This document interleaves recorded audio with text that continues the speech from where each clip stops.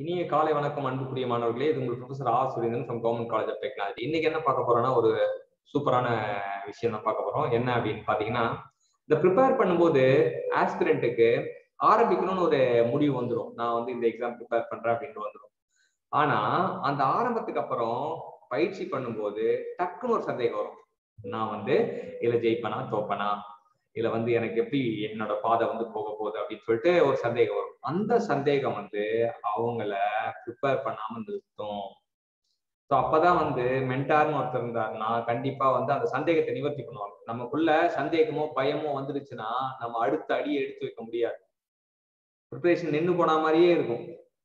So அடுத்த அடியை எடுத்து வைக்கணும்னா அந்த பயம் அந்த சந்தேகம் அந்த அச்சம் எல்லாமே தவிடுபடி ஆகணும். ஸோ இதுக்கு வந்து மென்டார் வந்து கண்டிப்பா வந்து ரொம்ப பேருதவியா இருப்பாரு.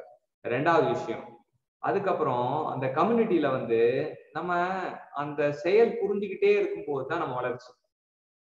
இப்ப நல்ல கேட்டுக்கு ப்ரிப்பேர் பண்ண ஸ்டூடெண்ட்ஸு எனக்கு நான் கேட் எக்ஸாம் எழுத தேவையில்லன்ற முடிவுக்கு வருவாங்க. நான் சந்திச்ச வரைக்கும் ப்ரிப்பேர் பண்ணது கேட்டுக்கா இருக்கும். ஆனா என்னப்பா கேட் எக்ஸாம் எழுதுனியா? ஆ இல்ல சார் ஏன்? எனக்கு நம்பிக்கை வரல சார் அந்த நம்பிக்கை இல்லாம இருக்கு. நம்பிக்கை ஏன் இல்லாம இருக்கு? பயத்தினாலதான். பயம் எப்படி உண்டாச்சு? பயிற்சி டெய்லியும் தொடர்ச்சியா பண்ணாதனால பயம் வரும். பயிற்சியை டெய்லியும் பண்றவங்களுக்கு அந்த பயம் எட்டியே பார்க்காது. பயம் அவனை விட்டு வந்து ரொம்ப தொலைவுல இருக்கும். அதுதான் அன்புக்குரிய மாணவர்களே நீங்க பயத்தை விரட்டுறதுக்கான ஒரே ஆயுதம் உங்களோட பயிற்சி தான். நீங்க பயிற்சி பண்ண பண்ண பண்ண பண்ண பண்ண பண்ண தெளிவடைஞ்சுக்கிட்டே இருப்பீங்க.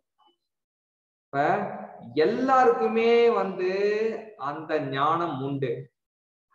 எல்லாருக்குமே தேர்வை வந்து சக்சஸ் பண்ற ஞானம் உண்டு. ஆனா ஒரு சிலர் மட்டும்தான் சக்சஸ் ஆகுறாங்க ஏன் அப்படின்னு பாத்தீங்கன்னா அவன் அறிவாளி. அதனால இல்ல.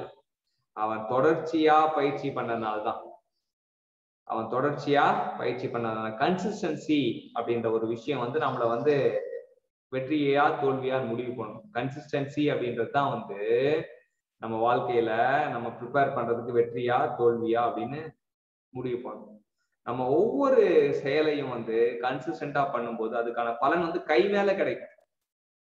பலன் வந்து நீங்க தேடிலாம் போக தேவையில்ல. பலன் வந்து கண்டிப்பா கை மேல கிடைக்கும். எனவே அன்புக்குரிய மாணவர்களே நீங்க என்ன பண்ணணும் அப்படின்னு பாத்தீங்கன்னா ஒரு விஷயத்த தொடங்கினதுக்கு அப்புறம் அதை வந்து தொடர்ச்சியா செய்யற குணம் இருக்கணும். ஒரு நாள் ஏதோ இது பண்ணிட்டீங்க. நீங்க உங்களை நீங்களே கேட்டு பாருங்களேன். இன்னைக்கு டெஸ்ட் எழுதுனா நான் இன்னைக்கு லேர்னிங் ஃப்ரம் மிஸ்டேக் பண்ணனா நான் இன்னைக்கு ஆடியோகிராஃபிக் மைக்ரோ லேர்னிங் பண்ணனா நான் இன்னைக்கு வீடியோகிராஃபிக் மைக்ரோ லேர்னிங் பண்ணனா நான் இன்னைக்கு போட்டோகிராஃபிக் மைக்ரோ லேர்னிங் பண்ணனா நான் யாரோட சந்தேகத்தை நிவர்த்தி பண்ணனா அப்படின்னு நீங்க கேள்வி கேட்கும்போது நீங்க தேர்வுக்கு ப்ரிப்பேர் பண்ணீங்கன்னு அர்த்தம். இதுக்கெல்லாம் எஸ் அப்படின்னு வந்ததுன்னா நீங்க தேர்வுக்கு ப்ரிப்பேர் பண்ணீங்கன்னு அர்த்தம். இல்ல இதுக்கு நோ வருதுன்னா நீங்க உங்களை நீங்களே ஏமாத்திக்கிறீங்கன்னு அர்த்தம். இன்னைக்கு டெஸ்ட் எழுதல. இன்னைக்கு ஆடியோகிராஃபிக் மைக்ரோ லேர்னிங் பண்ணல. இன்னைக்கு வீடியோகிராஃபிக் மைக்ரோ லேர்னிங் பண்ணல. இன்னைக்கு கம்யூனிட்டியோட என்ன எதுவும் பண்ணல. இன்னைக்கு வந்து லேர்னிங் ஃப்ரம் த மிஸ்டேக் பண்ணல அப்படின்னா எல்லாத்துக்கும் நோ வந்ததுன்னா நம்மளை நாமே ஏமாத்திக்கணும் அர்த்தம். ஸோ அந்த நம்மளை நாமே ஏமாத்திக்கிற குணத்துல இருந்து நம்மளை நாமே பாதுகாக்கிற குணத்துக்கு வரணும். நம்ம டெய்லியும் செயல் புரியணும். செயல் தான் வந்து நம்ம என்ன பண்ணுவோம் நம்மளை மாற்றும் நம்மளை மாற்றம் அடைய வைக்கும். நம்ம ஒரு பொருளை அடையிறதுக்கான மாற்றத்தை அடையாம அந்த பொருளை வாங்க முடியாது. இந்த பொருளுக்கு தகுதியானவனா நான் மாறிட்டேன். இந்த வேலைக்கு தகுதியானவனா நான் மாறிட்டேன். அப்படின்னா வேலை அடிச்சான் பாடுற அப்பாயின்மெண்ட் ஆர்டர் அப்படின்ற மாதிரி அடிச்சிருவானுங்க. ஆனா அந்த தகுதியை நான் வளர்த்துக்கவே மாட்டேன் அப்படின்னா அந்த பொருள் கிடைக்காது. நம்மள நாம ஏமாத்தி சார் நான் ப்ரிப்பேர் பண்றேன் சார் எனக்கு வேலை கிடைக்கல சார். அப்புறம் தகுதிய திறமைய குறிக்கோளை நீ வந்து வளர்த்துக்கலன்னு அர்த்தம். வேற ஒண்ணும் கிடையாது. அது வளர்த்துக்கிட்டா ஆட்டோமேட்டிக்கா தன்னம்பிக்கையை வளர்த்துக்கிட்டா நீ கண்டிப்பா வந்து உனக்கு அந்த விஷயம் அடைஞ்சிடலாம். எனவே அன்புக்குரிய மாணவர்களே வேலையை அடையணும்னா நம்ம வேலை செய்யணும். We have to do action with our participation and the commitment practice consistency. All the best champions